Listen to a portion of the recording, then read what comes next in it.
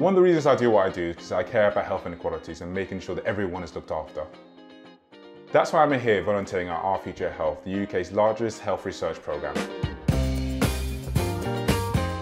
Hello, my name is Dr. Amos Ogunkoya. I'm an NHS GP and with a specialist interest in sports exercise medicine.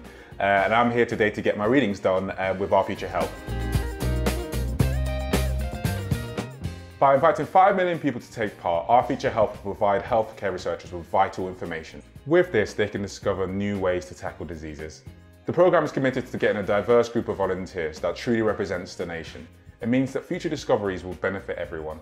Volunteering is easy, just book online at a time and a place that's convenient to you. At my appointment today, I had a small amount of blood taken and some measurements taken as well, and it only took about 20 minutes. By signing up, I've learned about my health, my cholesterol, and my blood pressure. Please, please do the same. We can do this and prevent diseases together.